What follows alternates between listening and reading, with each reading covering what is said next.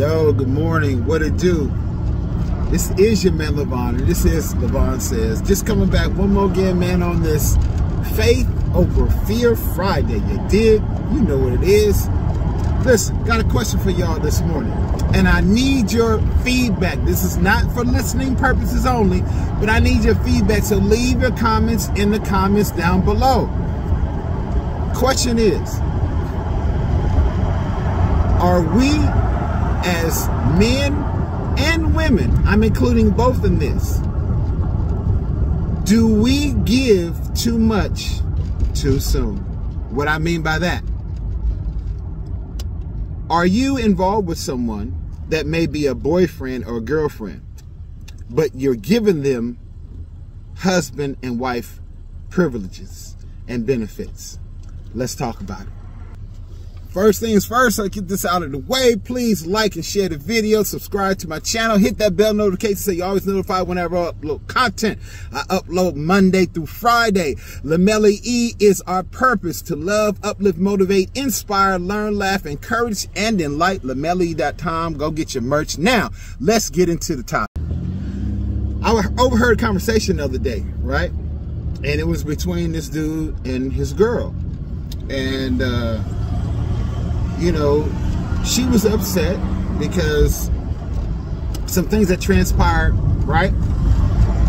And she felt like the things that happened should have included her, right? Um, and then the conversation went on to where, you know, he was trying to explain, well, I, you know, I did include you but just because I included you does not mean that I'm going to go with your decision. You know, I included you in the process. I included you in, you know, trying to figure out what was the best course of action, what's the best route, you know, the best way to go about doing things, right? But just because I included you in the decision making process doesn't mean I'm going to go with your decision. You feel me? And so when she was explaining why she was upset, it basically boiled down to is that she was expecting wifely um, things. You know, she expected to be able to make decisions like a wife, to be able to have input like a wife, to be able to say yes or no like a wife. But you're not a wife, baby girl. No, no, no, no. Same thing for the fellas. You know, are you expecting your girlfriend to treat you like you're her husband? When you're not her husband?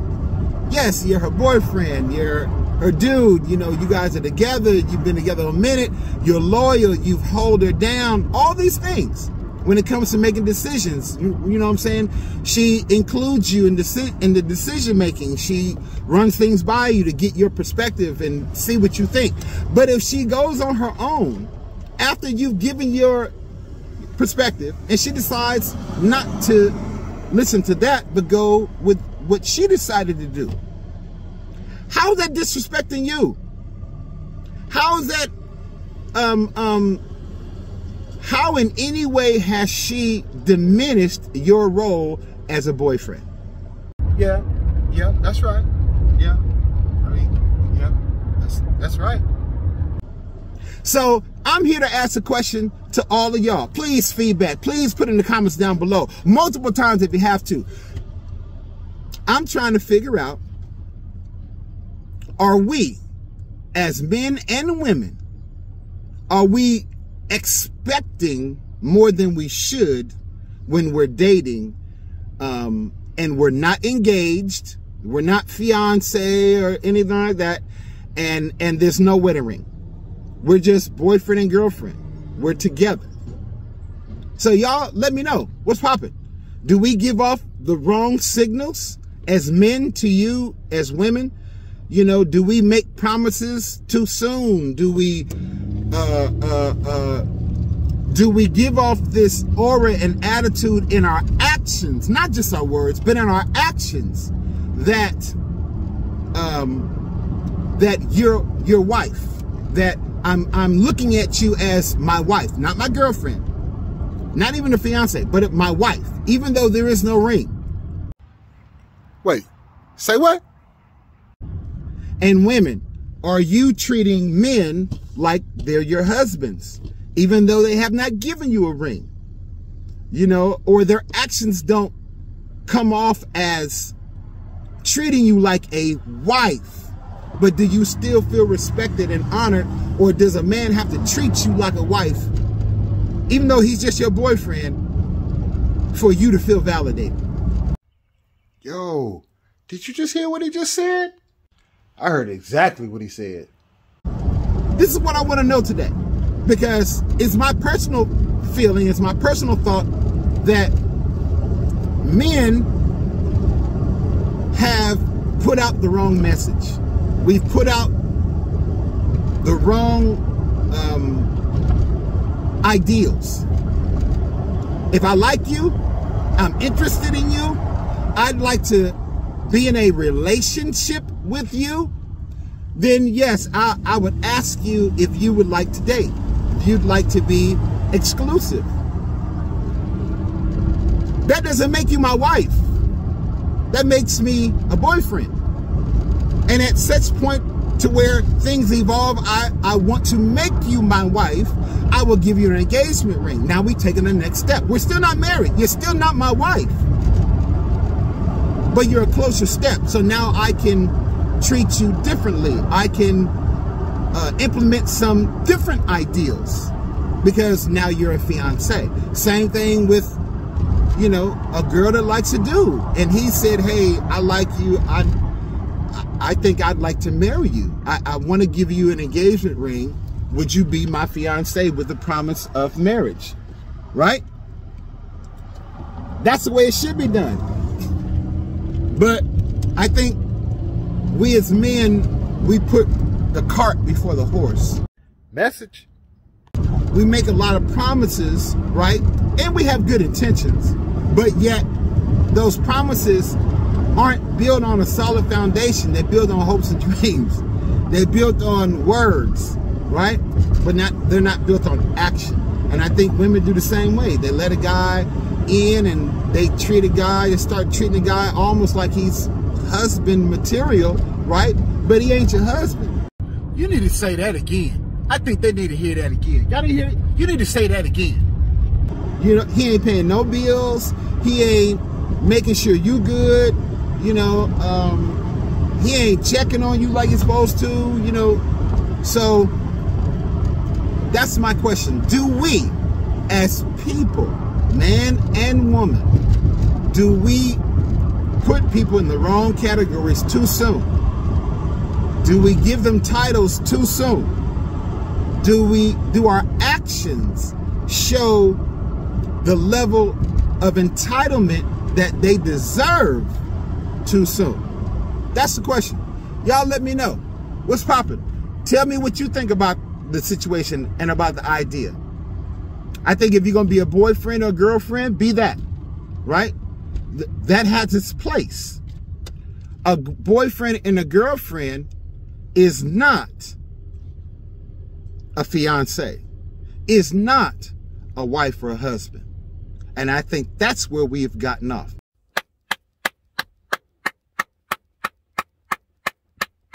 A lot of times, I think it is that, you know, people are just not straight from from the gate. You know what I'm saying? They're not shooting from the hip.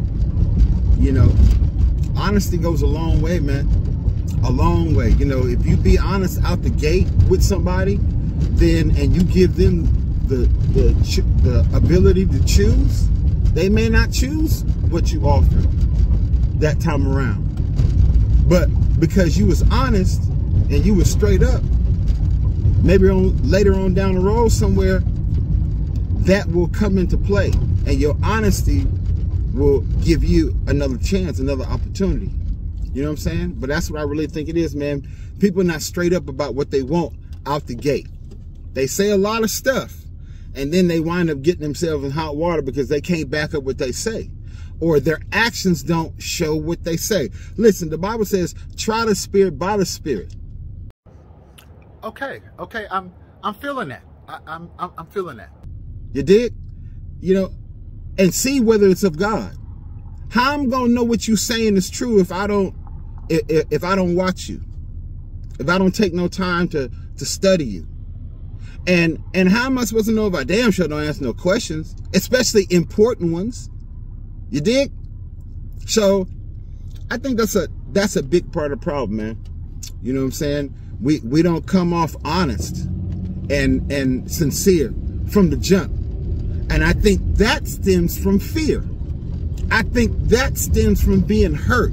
I think that stems from seeing prior examples that were failures, seeing things that shouldn't have been seen and wasn't supposed to happen. I think all of this plays a part in us not being honest from the jump. Never thought about it like that. Now, I'm not saying you got to be 100% totally honest with somebody because you really don't know a person like that. But when you feel like, you know, um, you've known a person and and and you've put in some time and you and you studied and you've watched, you know what I'm saying? You've watched them because of their honesty, because of the words that they said, even stuff that they might have forgot that they said. And then, but it don't change. We got to start being more open and honest. You know what I'm saying? It's not about the past. It's really not about what we've been through as much as it is where we're going and where we're going to go to. The question is, do I want to go that way alone or do I, I want to go with you? Have you proven yourself trustworthy and honorable and, and someone that has integrity outside of my presence? You know what I'm saying? So these are the things I think we need to look at when it comes to making decisions before we get with somebody. We need to be honest with them, be upfront with them. Stop all this holding information back and and in or lying. You know, I'm not saying withholding information is lying. That's not what I'm saying. I'm saying stop lying. You need to say that again. I think they need to hear that again. Y'all hear it? You need to say that again. Stop intentionally telling false truths that you know are not accurate. It's okay to withhold information, certain information, but it does get to a point to where even withholding information can be detrimental, especially the person is asking you, you know, they're asking you specifically a question and you don't want to answer the question for whatever reason, or you don't want to, you know, I don't want to open up that. I don't want to think back on those things. I don't want to, you know, I don't want to rehash that. I'm past that. I don't want to, you know, I don't want to have to deal in that. Okay. But those can be excuses for you not wanting to open up and share because when you make a life with someone, then their life becomes your life and your life becomes their life. And how can our lives truly come together and intertwine as one if you're afraid to reveal your life to me? Preach, bro. You know you preach. Preach. If you're afraid to to to be vulnerable before me, you don't want to talk about that because that past hurt, that past that means you ain't you haven't dealt with it.